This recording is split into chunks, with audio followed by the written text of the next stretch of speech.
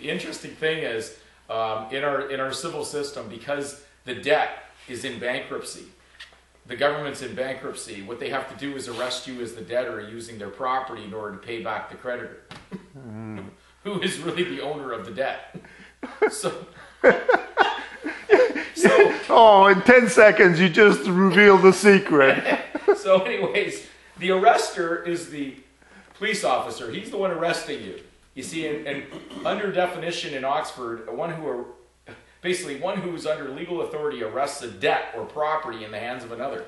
So in other words, you're holding a debtor's property in your hands, but you didn't know it. They just passed the hot potato to you. All they do is make an offer. It's just an inducement, an inducement to do labor for a debt you can never pay off. Yeah. But you can try, because they will try all. They give you a, a 30 day free try all offer on every ticket. But if you have given them evidence, the burden of proof is that you, where shoot the ticket with the license?